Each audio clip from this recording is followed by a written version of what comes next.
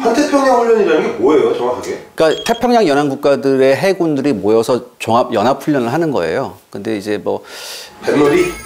아, 근데 뱃놀이하고 달라. 왜냐면 이게 어마어마하거든. 여러분 낚싯배 생각하시면 안 돼요. 그러니까 여기는 사실 천 톤급도 명함을 못 내밀어요. 한 만 톤급 돼야지. 어 그래 어 왔어 이렇게 됩니다. 혹시 이걸 볼 수 있는 그 VIP 전용 배를 띄우기도 하나요? 있겠죠, 있겠죠. 거길 내가 한번 타야. 내가. 갈까요, 우리? 근데 나는 그런데 남자하고 안 가.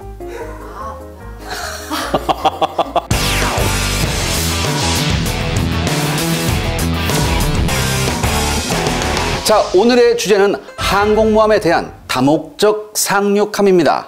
미국 해군이 주관해서 짝수회에 시행되는 환태평양 훈련, 림팩 훈련이라고 있죠. 여기서 매번 눈에 띄는 함정들이 참가하고 있습니다. 아, 그 중에서도 항공모함에 대한 갈증을 날려줄 스펙 좋은 상륙함들은 항모의 좋은 대안이 되고 있습니다. 오늘은 경항공모함의 역할을 충분히 수행할 수 있는 각국의 다목적 상륙함 및 헬기 항모에 대해 알아보겠습니다. 자, 첫 번째로 미국의 다목적 상륙함입니다. 먼저 와스프급 상륙함인데요. 미국은 타라와급 상륙함을 와스프급 상륙함으로 교체했는데요. 그 이유는 타라와급 상륙함의 공기 부양정의 운용 능력이 한쪽으로 매우 빈약했기 때문입니다. 따라서 와스프급은 더욱 대형화된 선체에 세 척의 공기 부양정 운영이 가능한 상륙함으로 설계되었습니다. 미 해병대의 초수평성 상륙 작전의 가장 핵심적인 역할을 맡고 있죠. 현재 총 8척이 운용되고 있습니다. 보통 40기 내외의 고정익 및 회전익 항공기를 탑재하고요. 운영 상황에 따라 각 항공기의 구성을 달리할 수 있는 유연성도 가지고 있습니다. 만재 배수량은 4만 톤이 넘어서 우리가 보유한 독도급의 두 배가 넘습니다. 사실상 여타 운영국의 기준을 보면 경항모도 아닌 중형급 항모로 분류될 정도죠. 두 번째는 아메리카급 상륙함입니다. 아메리카급은 와스프급 8번 함을 기초로 보다 대형화된 미국의 차세대 상륙함입니다. 기존 와스프급과 비교해 만재 배수량이 5,000톤가량 늘어난 4만 5,000톤이죠. 무엇보다도 와스프급과의 결정적 차이는 웰도크를 없앤 건데요. 즉, 전통적인 상륙함으로서의 기능보다는 항공기 F-35B죠. 이런 항공기의 발진 플랫폼으로서의 기능을 강화한 겁니다. 미 해병대 초수평선 상륙 작전에는 항공기에 의한 병력 및 물자성이 압도적으로 많은데요. 따라서 항공기 운영 및 활용 능력을 강화해서 상륙용 항모로서의 기능에 집중한 겁니다. 현재 두 척은 운영하고 있고 한 척은 건조 중에 있다고 합니다. 그리고 향후 두 척이 더 건조될 예정입니다. 부러운 건 저만의 생각일까요? 다음은 영국의 오션급 상륙함입니다. 영국은 예산 부족으로 낡은 경항모를 상륙함으로 개조해 사용해 왔었습니다. 그래서 상륙정 병력을 수용할 수 있는 공간 부족 등 문제점이 많았죠. 결국 영국 해군은 1998년 상륙 전용 상륙함인 오션급 상륙함을 취역하게 됩니다. 하지만 오션급은 웰독을 설치하지 않아서 전차나 공기 부양정 등의 상륙 장비를 운영할 수가 없어요. 따라서 순수한 헬기 탑재 항모로서 사용되고 있습니다. 만재 배수량은 2만 1000톤급입니다. 함재기는 최대 18대를 탑재할 수 있습니다. 다음으로 스페인 후안 카를로스 1세 상륙함입니다. 2010년에 취역한 스페인 해군의 강습 상륙함 겸 경항모입니다. 만재 배수량 2만 7천 톤급의 함정으로 기존 스페인의 경항모에 비하면 그래도 두 배나 커진 거죠. 1990년대 해외 파병에 적극적으로 나선 스페인은 지중해에서 이탈리아와 함께 맹주로서의 활약을 자처했는데요. 이를 위해 경항모의 소유는 필수적이었습니다. 후안 카를로스 함은 해리어 수직 이착륙기를 포함해 최대 30대의 항공기를 탑재할 수 있고요. 상륙함으로 이용할 경우 최대 46대의 레오파드 2 전차를 탑재할 수 있습니다. 스페인의 후안 카를로스 1세 상륙함의 컨셉은 호주에게 깊은 인상을 주었습니다. 결국 호주는 후안 카를로스 1세를 바탕으로 캔버라급 상륙함을 건조하게 됩니다. 두 척의 캔버라급을 운영하고 있는데요. 호주 역시 2000년대 들어서 미국과 공주하는 해외 파병의 규모 횟수가 점점 늘어나고 있었죠. 또 유사시 주변국 특히 인도네시아의 정치적 불안 상황에도 빠르게 대처해야 했습니다. 따라서 신속 정지를 위한 상륙함은 필수적인 요소였죠. 최대 18대의 항공기를 탑재할 수 있는 캔버라급 상륙함은 현재 F-35B의 도입을 진지하게 검토 중에 있습니다. 이번엔 이탈리아 상륙함을 한번 알아보겠습니다. 이탈리아는 산조르지오급 상륙함을 가지고 있는데요. 현재 세계에서 가장 작은 만재 배수량 8,000톤급입니다. 현재 세척 운영 중에 있는데 크기가 작은 관계로 헬기 5대만이 운용 가능하지만 의외로 지상 장비의 경우 전차 30대까지 적재할 수 있습니다. 반도국 이탈리아가 처한 현실을 반영하고 있는 듯한데요. 즉 자국 해안에 대한 신속한 병력 증원에 주안점을 둔 상륙함이라고 할 수 있습니다. 일본함이 진수된 것이 벌써 1987년입니다. 따라서 상당히 오래된 함선이죠. 이탈리아 해군은 차기 상륙정 건조 계획을 가지고 있지만 어려운 이탈리아의 경제 여건, 특히 요즘엔 더 어렵죠? 이것 때문에 현재 건조 계획은 매우 불투명한 상황입니다. 자, 이번엔 우리의 최대 관심사 일본을 한번 바라봐야겠습니다. 일본의 휴가급은 상륙함으로 분류되지 않는 헬기 항모입니다. 만재 배수량 19,000톤으로 최대 11대의 헬기를 운용할 수 있죠. 하지만 갑판에 내열 처리가 되어 있기 때문에 유사시 F-35B와 같은 수직 이착륙기를 운용할 수 있습니다. 더구나 휴가의 항공 관제 시스템은 회전익기뿐만 아니라 고정익기 관제도 가능합니다. 따라서 일본은 향후 수직 이착륙기 운용을 강하게 염두하고 있는 듯한데요. 일본은 여기서 그치지 않았죠. 휴가를 더욱 확장시킨 이즈모급은 만재 배수량 2만 7천 톤급의 경항모 사이즈를 갖고 있습니다. 이즈모급은 14대의 항공기를 운영할 수 있고요. 이전의 휴가급보다 갑판과 엘리베이터가 대형화되어 있습니다. 따라서 경항모의 의심을 강하게 받고 있죠.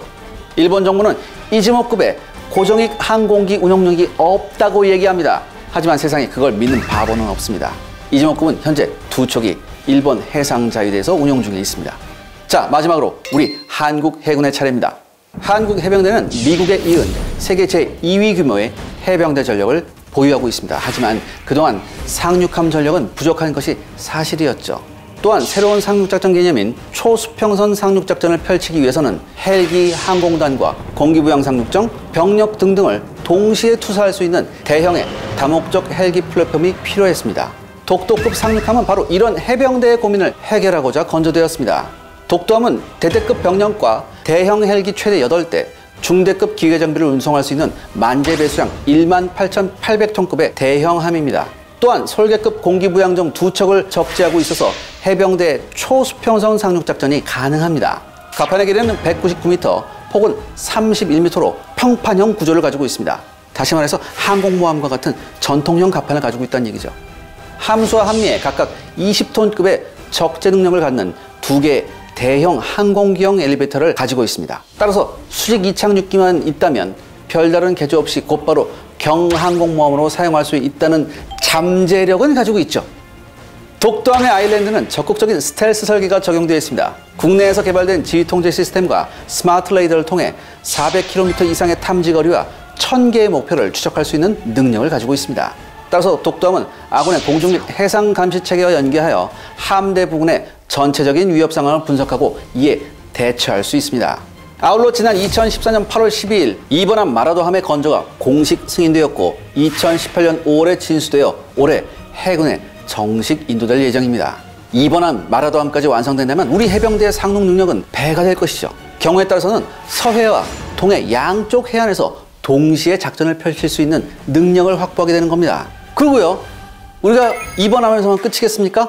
조금 더 큰 거 제대로 좀 만들면 능력은 더 좋아지겠죠. 사실 뭐 일본도 지네 뭐 사실은 경항모인데 뭐 상륙함이라고 뭐 우기고 있고 네네. 우리만 너무 정직한 거 아니에요? 아, 근데 전 사실 그래요. 상륙함이란 것은 본연의 목적에 충실해야 된다고 생각을 해요. 상륙함 겸 경항모로 쓴다고 하면은 어설픈 함이 나올 수도 있습니다. 다목적이라는 얘기가 얼핏 듣기엔 좋아 보여요. 야, 이것도 되고 저것도 되고. 근데 바꿔 말하면 뭐 하나에 집중을 못 한다는 얘기입니다. 우리 해군과 해병대 차기 강습 상륙함인 LPX-2 프로젝트는 작년 10월부터 개념 설계에 들어갔습니다. 부디 우리 해병대가 만족할 만한 그런 강습 상륙함이 나왔으면 좋겠습니다. 자, 여기서 제가 여러분들께 부가적으로 설명드릴 게 하나 더 있습니다. 지금 강속 상륙함이라는 얘기를 쭉 했는데요. 이걸 이제 코드를 보면 LHA, LPH, LPD 이런 식으로 분류 코드가 여러 개가 있습니다. 근데 이게 좀 헷갈려요. 일단 용어 정리부터 한번 해보겠습니다. LHA는 Landing Helicopter Attack or Assault의 약자입니다. 굳이 우리말로 번역하자면 헬리콥터 공격 상륙함이에요. LPH는 Landing Platform Helicopter, 즉 헬기 모함이죠. 그렇다면 LHD는 뭡니까? Landing Helicopter Dock, 즉 well dock이 설치된 헬기 모함이라고 생각하시면 됩니다. 그러니까 다시 말해서 이걸 보면 LHA는 LPD하고 LPH의 장점만을 혼합한 개념이죠. 복잡해요, 나도. 근데 사실 이러한 분류법은 그야말로 분류하기 나름입니다. 예를 들어서 최신형 아메리카급은 미군에서 LHA로 분류되는데 사실 LHA의 특징은 웰도크가 없죠. 아메리카급은 순수 항공기만을 위한 모함으로 분류되며 영국은 이 배를 경항모로 분류하고 있습니다. 실제로 프랑스의 정규 항모인 샤를 드골은 4만 2천 톤의 만재 배수량을 갖고 있지만 미국의 아메리카급 LHA는 4만 5천 톤입니다. 과연 이걸 상륙함으로 불러야 될까요? 결론적으로 현재 LPH, LPD, LHA의 경계선은 무너진 지 오래입니다. 일부 국가의 경우 경항공모함이라고 불리는 것이 부담스러운 상황에서 LHA, 즉 강습 상륙함이라고 이름을 통일해 부르는 경우가 대부분입니다. 심지어 아무리 요리 보고 저리 봐도 경항공모함인 일본의 휴가급과 이즈모급은 헬기 탑재 구축함의 분류 코드인 DDH를 사용합니다. 어디를 봐서 이것이 구축함이란 말입니까? 마음 같아선 일본 너네 그러지 마! 라고 하고 싶은데 요즘 그쪽 사정이 별로 안 좋더라고요. 뭐 사정 안 좋은 사람들한테 그런 얘기 해봤자 모양새가 좋지도 않고 하여튼 이 위기를 그쪽도 잘 극복하기 바랍니다. 고마르네.